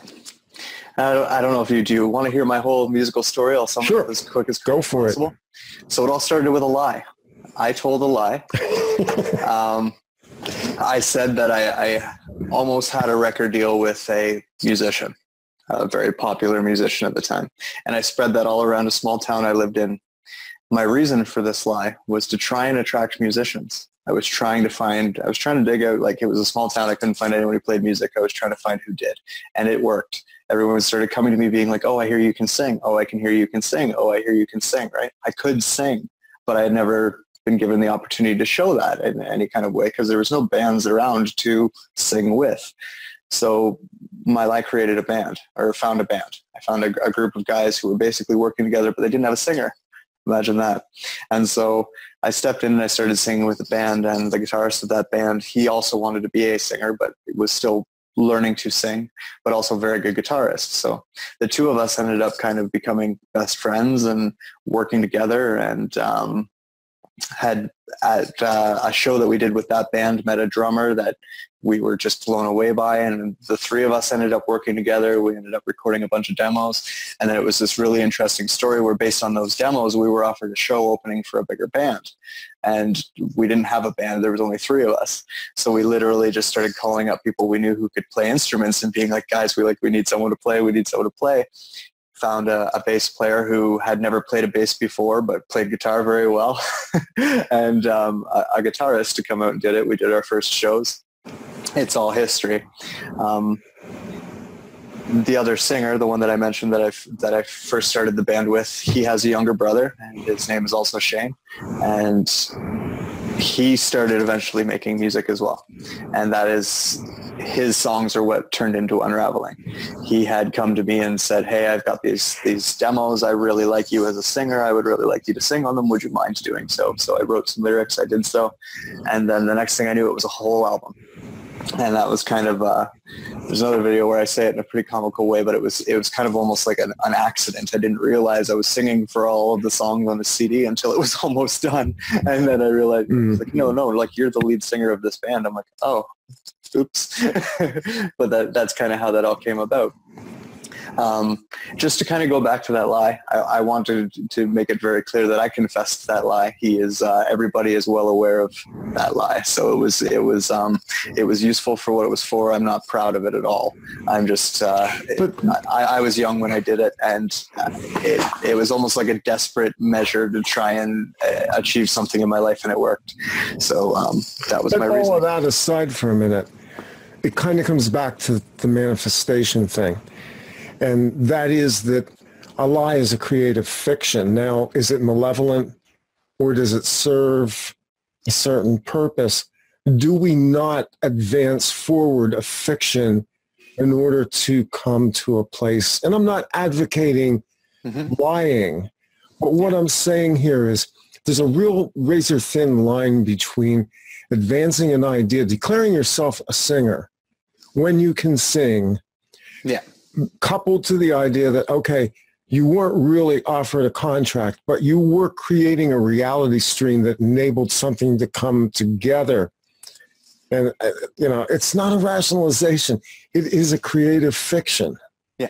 That we all it, do on some level. It wasn't something that they could hang on to either because it wasn't like it was a promise that like they were going to get a record deal. It was like yeah. one of those situations yeah. where if you know if I had if I had been able to at that time, I could have had a record deal, but I wasn't. But that's that's just how good of a singer I am, right? And um, hey, I, I, I, could sing. So I wasn't, you know, that part of it wasn't a lie. It's just uh, the association, which all it really got was attention. Like I said, nobody was benefiting or losing anything from it, right? Other than it got some people to pay attention and the right people. Well, by way attention. of by way of confession here, I will admit this. Back in the 90s, I mean, I was pretty good with computers. I, I pretty much grabbed computers right from the beginning. It's I was comfortable with it. Um, and I think everybody's padded a resume from time to time. I took a job to do an application development job on the premise that I could write code. Now, could I write code? Yeah, but application level, not really. Mm. I flew by the seat of my pants on that job. I basically got it done. I sat there with a code manual. I pulled snippets. I put this thing together. I stayed up all night figuring out how to fuse this code together because I had like modules and lines of code and, you know, text editors and everything in front of you trying to do this. I got through the project. Now, I wasn't what they thought I was, but I thought that I was good enough to be able to get to the place where I could sell my skills. That job led to me being offered a sales position that then took me on a whole other tangent towards the end of the 90s until the tech industry burned out. But, you know, we all have this within us, this, this component that's creating a reality. And we're just racing ahead of the reality. I mean, your recording contract really just hasn't shown up yet. There you go. There you go. yeah, it, it, it's funny that you went into the. It's funny that you went into a story about a resume because that's actually, like, once it was all confessed, that was actually what the band had said to me. It was like it's no different than lying on a on a resume. You know, you just yeah. it's you know it, it's no different than me saying that I was in five bands when really I was only in one. You know, it's uh, it's that that it was that harmless to them, I suppose, in the end. But um, so how long is how long has the band been together, and a little bit of what you've done along the way and where you want to go? Well, un- unraveling is almost like an extension of an, another band called the Mindsight, and I guess that started about ten years ago now. And um, when I say it's an extension, it's because like uh, the other singer from the first band is also in Unraveling. Um, when we play live, the the bass player from the first band is the bass player for that one. Uh, the drummer from the first band, as well as the bass player from the first band, played drum and bass on this record. So you know, it's it it really is kind of a it's all within the same family, just a, a different project. And uh, but when it comes down to it, at the end of the day, there's three of us. So um, yeah, sorry, I forget. I think I've lost your question in there somewhere. That's okay. No, what I was saying was you you you kind of wove into this. You've done two albums. Is that correct? Yeah, with uh, with uh, the first one we did two albums. With this one, we just released the second one. Yeah, great. And uh, with our music videos, um, I personally don't do it, but I know that the uh, the other guys in the band they put a lot of thought into it. Like they they obsess over it, and it's all.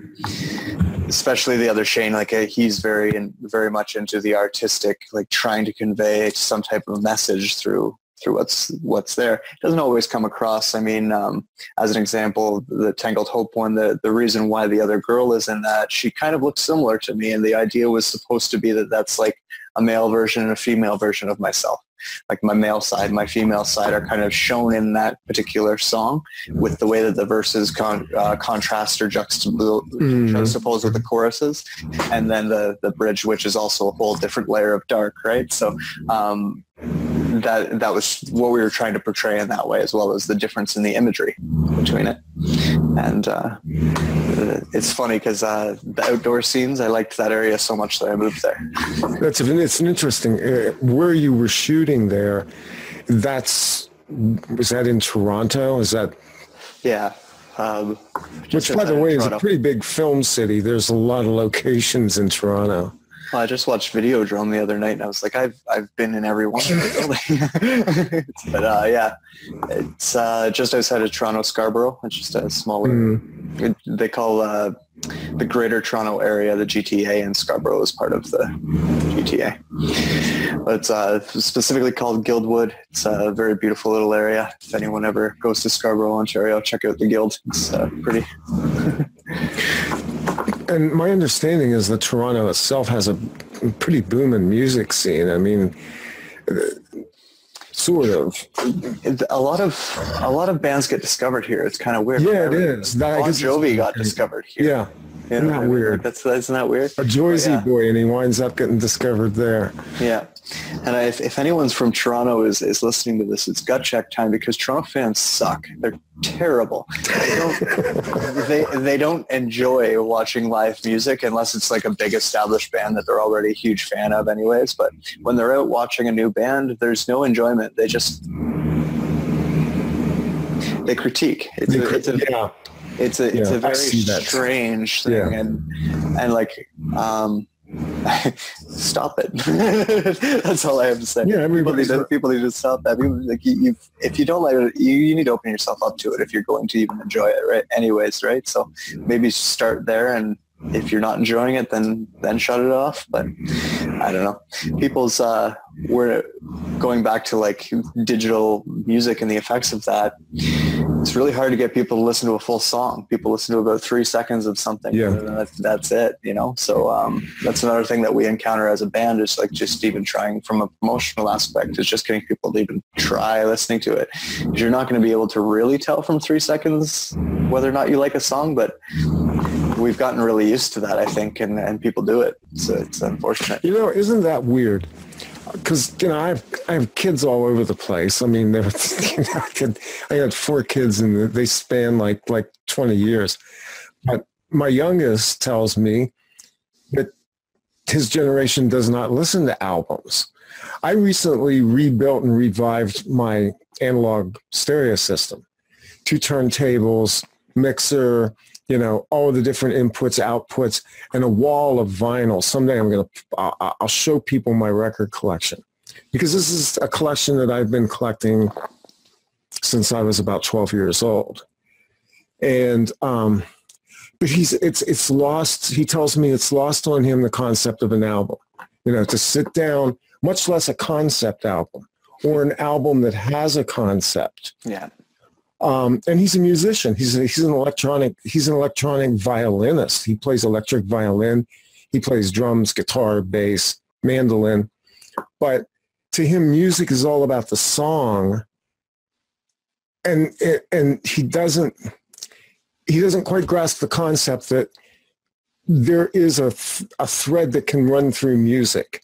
I grew up in the in the generation post Sergeant Pepper's post Dark Side of the Moon, you know, two conceptual albums. And I have to wonder if that's dead or if there are bands. I I know the answer to this because I know some of the bands that are doing it. Is there is there an attention span left for communicating a concept that big in music, Shane? I, I want to say yes because I'm hopeful, but um, if I'm realistic, I don't think so. You know, I don't. Uh, I have a hard time with some younger people, uh, even just explaining to them what a concept record really is, let alone getting them to actually sit down and try and listen to one. You know, it's uh, it's. I think it's almost like a lost art form. Um, lots of things that got got lost along the way. I mean, you don't buy physical CDs. You don't. I don't know. I used to buy a CD, come home, and sit down yeah. with the CD and the artwork. Yeah. You know, like we, have lost that. We've um, yeah it's just all so changed and it's also different that I don't I don't think so. I don't think that people have that kind of attention span for it anymore. I think that they're looking for something that's like a little bit more quicker or more instant gratification or bang for their buck or I, I don't know how to phrase that, but That's like a sugar rush. Exactly. They, Like they want the sugar rush. They don't want to sit down and savor Mhm. something that's textural and rich and has all these different facets to it. We, you know, and I remember doing this, scrutinizing album jackets. Even the etchings on the inside of vinyl records had messages in them. Yeah. We played records backwards. Looks, you know, that was Yeah. the whole backward masking thing. That that was kids my age discovering that these records had what we thought were coded messages. Were they coded messages? Well, you know, I have to tell you, studying that question and knowing the technology as well as I do, yeah, there were. Yeah, I mean, that, that stuff was put there, and some of it was quite supernatural. Yeah. So that I've um, we did this experiment one time in a recording studio where we we sang a passage and then we reversed it because you can do that real easy with Mhm. digital movie. You can just make it make it backwards, Just flip the loop. and then you teach yourself how to sing it backwards. Yes. you know what I mean, right? Like you teach, and then you record that, and then you reverse that, and then you play Mhm. that forward. And it was funny. It was coming out like. Um, um, like There we had go. like a it was just a, a fun little think about back in the day like all of the, the different things that could have been in that because I mean even with tapes you could play them and fast forward and pick things up in the chipmunk voice that weren't there Well, on the record right And in fact, the, the, the, the story behind the Beatles was that some of the reverse guitar parts that were on some of their earlier records like Revolver, George Harrison actually did go in and play those parts as backwards by referencing the backward tape. They played the note for note backwards, doing a lot of what you were doing. Yeah. But obviously in Pro Tools, it's a hell of a lot easier to do than it was when you were working with four and eight track tape. oh for sure But, you know, different world. you're playing now in the ether, you know, which is a lot like um, certain art forms where you, or, or um, certain writing forms as well. Um, I'm trying to think of the term for it right now, where you just put your hand down and you write. Um, auto writing yeah, automatic writing. Um, people who write, and, and I've written all my, my whole life, poetry, verse, um, where you just allow yourself to flow onto paper or onto whatever your medium is. There are messages in that because we are free associating in the subconscious mind. We're pulling images. And a lot of times, this was one of the things that was so valuable to me was that I've kept journals since I was a young, well, young teenager, 12, 13, 14. Those journals have proved to be invaluable to me in going back and looking at what I wrote and sometimes looking at it and going, what the fuck was I thinking when I wrote that? And realizing that something was buried there, something was hidden there. That actually what we're doing a lot of times as creative people, we're leaving messages for ourselves. We're leaving a trail of breadcrumbs along the way. Yeah. That's part of the creative process.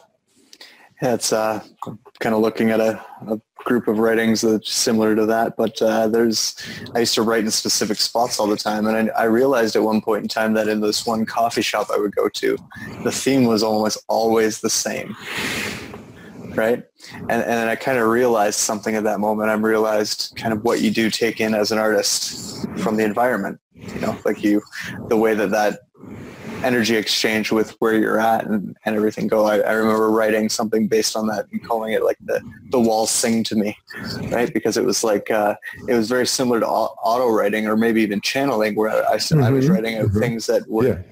not that they weren't my thoughts, but they just like it was structured differently than I normally would structure things, or I was using words that I don't typically use, and, and, I, and I actually noticed it, and I, re- I recognized it or correlated it to the place I was writing. So there's, um, yeah, a lot of different things you can tap into. Um, I, I'm always reminded of the story of what was the man's name who wrote James Bond, Ian Fleming Ian Fleming, yeah. uh, how he found out later on that there was a, a spy that lived above him, right? And uh, he may have been channeling some of that information from said spy, right? Like you, everything, the amazing magical properties of our creative beings can pick up on everything that's going on in the ether and, and turn it into and transmutate it into something. Yeah, we do that. You know, if we, and I, I always try to remind myself of this and mention it to others, that we need to notice things around us. There are, I do this as a practice. I, I have what's called hypervigilance, where when I'm in certain places in certain situations, let's just say my antenna go up. And so I pay attention to details that other people don't necessarily pay attention to. Yeah. And as a result of that, I notice things that are odd, that are offbeat, like why is that there? What's the story of that object? What's the vibrational intensity of that object or the room itself? And you know, I mean, part of being clairvoyant is actually pulling energy in from an environment. And then much like what you were talking about with, with telepathy, you get an image. Yeah. Image appears and then you know the thing about it is most people dismiss those thoughts because they go by very quick mm-hmm. but the practice of mind of being able to capture that and as a writer, I suspect you do this as well. You grab thoughts that fly by because they're poetic or they're meaningful or they have an attachment in some way. And you grab that and that becomes the seed for something that you then take and spin off into another direction. Yep. yeah, it's uh, sometimes I'll I'll come up with I, I remember I used to come up with a lot of my lyrics while I was walking, and I'd have nowhere to write it down. I didn't have a cell phone, you know, and, or anything to put it down on. So I would um, I would create a musical hook out of it, like a mm-hmm uh, a tune that would get stuck in my head, and I would just keep repeating whatever the line was. So you know what I mean? Whatever, whatever part of it that I knew I needed to remember, and I would do that all the way until I got to wherever I could write it down. That was one of one of the ways that I would kind of grab and hold on to that. But you're right. It's um, when with when you're talking about the speed that they flash by, it, it's almost like a dream. You know, mm-hmm. like if you really consider while you're dreaming, it seems like it's taking, like you feel like you're in real time, right? Like everything is moving at a natural pace, but in, in reality that happened in 14 seconds, you know? So it's really where you're, when those inspirations are passing you by, it, it's no different. And um, that's why like getting in the process of journaling is always really important because it, yeah. get, it gets you more used to writing those things down when they happen. Because a lot of the time you you kind of just assume that you're going to remember it. Oh, I'll remember that later. I'll remember that later. No, you won't. You're gonna you're gonna sit down and go, what right, was it? Exactly. Yeah. You know what I mean? And and uh, I do I this. I carry these things with me. Yep. Post-its you can stick them in your pocket or your backpack or whatever you got with you. And it's amazing. I mean, I have to go through these things after a while and eventually transfer them or throw them out.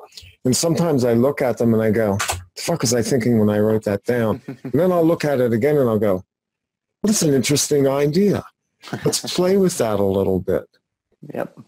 You know, and part of the point of this conversation that we're having is um, I hope somebody out there who sees this gets inspired or we trigger something in them that's a creative process as well. Because that's really where it gets interesting is when we're able to tap in and then we're able to be catalysts for other people's creativity. That's why we play in bands. That's why writers get together and have workshops. That's why artists in general sometimes band into communities as they've done over over historical times is because we're catalysts for each other in the collective.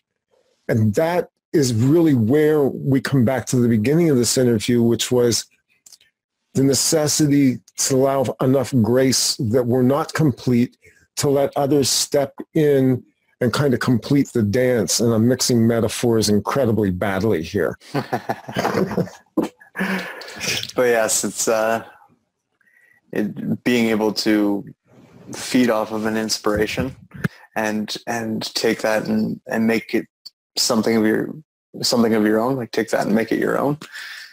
it's a beautiful feeling. Like it's a beautiful process, and it's something that we need to to develop the courage to do more of. Um, I guess a lot of, I think a lot of us are hiding. Um, a lot of us are kind of scared to show ourselves and we understand that once we you know, if like myself as a, as an example, like if you listen to my lyrics, you're going to learn a lot about me. You know, if you if you watch me perform, you're you're going to learn a lot about me. If you want, you know, if you take that in, you're you're going to learn a lot about me, and that's because it's it is my heart and soul that I'm pouring out there, and that's what artists do. You know, the the bleeding hearted artist, and uh, all these different phrases that have come out, they they they've come out of something. And, and all we're doing as artists is taking things out of the collective consciousness and and painting a picture with them, right? We're using all that paint that is, is floating around out there and we're, we're painting pictures and, and we're not doing it to, I don't know, take anything from anybody. We're doing it to try and inspire people to see it for themselves because we've we've noticed beauty in that. Yeah. I don't know. I remember when they used to paint like bowls of fruit and shit. you know? yeah, people, yeah. people look at that now and they're like, well, "Why?" Right? Well, that's because like someone looked at it one day and went, "Wow! Like look at look at the way those shapes work together. Isn't that beautiful? The way the light's bouncing off of that apple. Isn't that beautiful? I want to try and capture that and show it to someone." Yeah. So they so they painted it, right? Yeah. And usually they'd put some little twist or nuance on it if they were good. Yeah. Or they would do what beginning artists do, and they would use it as a launch pad into. I mean, you got to start somewhere. Yep. You know, uh, I always wanted. You know, when I was taking art classes, my goal was to draw naked women, but I never got good enough with the human form to get the naked women to pose for me. So as a result of that, you wind up drawing bowls of fruit. Um, Balls of fruit. You know, the, the problem with the whole thing is that, that rock and roll was always about one thing, and that was getting laid anyway. And really, it's in some some ways never really gone too far from that. It's kind of crude, but yeah, you know, unfortunately, it's, it's, the uh, it's it's where rock and roll was in the beginning. That's what it was really all about. But you know, the art form itself is really mature in a lot of ways now, and I, and, and, I see it extending even more. I, you know, just as an example, the, your, the video we showed tonight in the show, and some of the other things that down the road I'm going to do with this show in terms of bringing out more integration with the arts, with music, and, and things like that, are attempts to communicate beyond just the spoken word, the written page. Which, say, by the way, you do. Uh, you're doing a podcast. You have a blog. You're you're sort of a multimedia madman.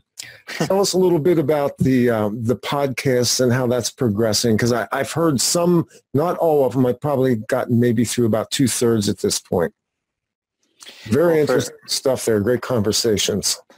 I just wish I could do more of it. It's uh, I, I don't have a lot of time, and I, I, it's it's uh, something I do as a hobby. So it's in my free time. I work a full time job. I have other things to do. I, I, don't have a lot of time to do it, but um, I would love to do one every day if I could, because it's it's it's what I've been talking about here. It's all about trying to get everyone talking. Like you know, yeah. trying trying to get rid of some of the division between us, get rid of some of the separation that we feel from each other, and and make give everyone someone that they can relate to.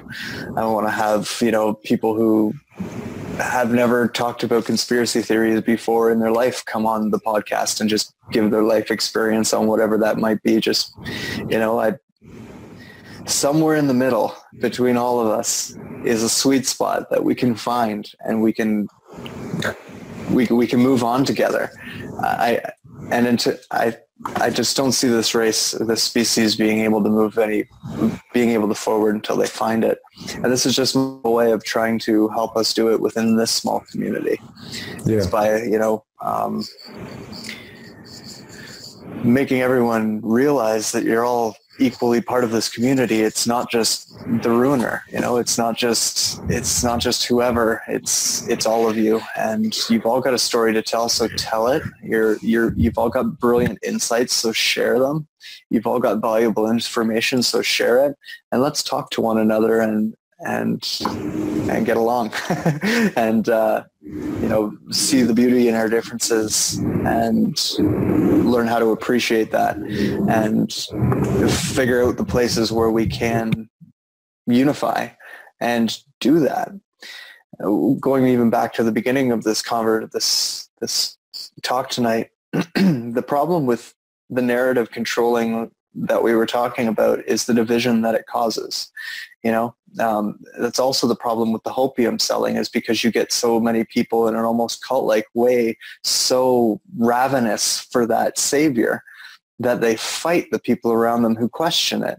And it causes division and that's the problem with it all. If everything is kind of left open and and looked at as concepts and possibilities, then we don't have reason to cause that, that division. You know, you you are ex- you're exploring something that I don't feel like I want to explore, and it's just that simple. There's no reason to fight with you about it. We're both human beings. Let's let's see what we do agree on and what we can do about those things, and, and start working towards solutions instead of creating camps and you know, you, have brought yeah. up the CV thing again. Like the the only problem I have with all of that is a lot of good people are now kind of on two sides of a fence that yeah. don't need to be. Yes, There's you know a lot I mean? of division, a lot of hurt, and all for what? All for yeah. all for somebody getting their kicks out of making promises that they can't deliver on. Right. Like I'm sorry to be that blunt, but that's really all that that is. You know it. I know it. Yeah. Um, and it's it's it's hurting people and that upsets me. Yeah it does me too. i've seen the hurt i've seen the disappointment. And um, you know my message to the people privately and i do talk to some of them privately and even within sm- small subgroups has been you have to turn this off. You know you, you really you know the interactions that we have are important. Let's not keep enthroning people. Yeah. We, we, if anything, what we're doing here tonight is disenthroning the media layer and bringing it back to a conversational level. You know, it's difficult because you and I are used to talking to each other, and usually we're not visually connected to each other, and we're not recording this for consumption by the so-called public. So, yeah. you know, it's not a completely natural conversation, but it is in the sense that there, we're not advancing agendas. We're not pushing ego. There isn't a whole lot of competition here or this is my show, you're my guest. It's a conversation. And that's really what I've been trying to do for a while now is to just create, destroy that layer or that, that media layer. Media means the mediator, something that sits between you and something else, between the listener and the speaker is the truth and we're trying to come to that. And the conversation is how we do it the interaction the respect the honor that we give each other. Even if the honor is when i finally have to tell somebody look you're being a total asshole here. You're exploiting people. You're deceiving them. You're putting out bullshit. So now we got to call you on it. And at the end of the day if you absorb that and you act upon it honorably we have a path we can go down together as human beings. Shane, this conversation went by so fast and uh, you really actually wrapped it up in the last round there. Anything else you want to leave us with before we head off into the night here? Oh, I don't know. Damn. Um, yeah, it always fails you. Just, I, I don't know. I've said it all before. Yeah. Everything you need to know. It's not like it, you, you can ask me questions. You can ask yourself the same questions. Mm-hmm. If you're going to ask me the question, please please ask yourself the same question because you may have answers that I do not. And what I mean by that is trust yourself. Trust yourself. Believe that you're capable of trusting yourself because you are don't don't take all of this nonsense about oh my genetics have been manipulated and they're fucking with my food and they're messing with this and they're messing with that and I'm I'm completely powerless. No, you're not. You're powerful beyond all of that stuff. And as soon as you realize that and believe it you'll manifest that into your own world to uh, bring us back to earlier in the conversation. It's true. I know that it's true. You don't have to believe me but um, if you do believe me and you do apply it to your life you'll you'll realize that it's true too that's it. love you all. I Yeah. love you all. Everybody's, you're all beautiful. And uh, it's always fun talking to you. It's fun talking to you, and I love you very much, and I deeply appreciate the sacrifice of time you made to come out tonight to talk to us. That's going to wrap it up for this time. This is Off Planet TV, Off Planet Radio. The website is offplanetradio.com. The truth is out there now. Go do something amazing. We'll be back real soon.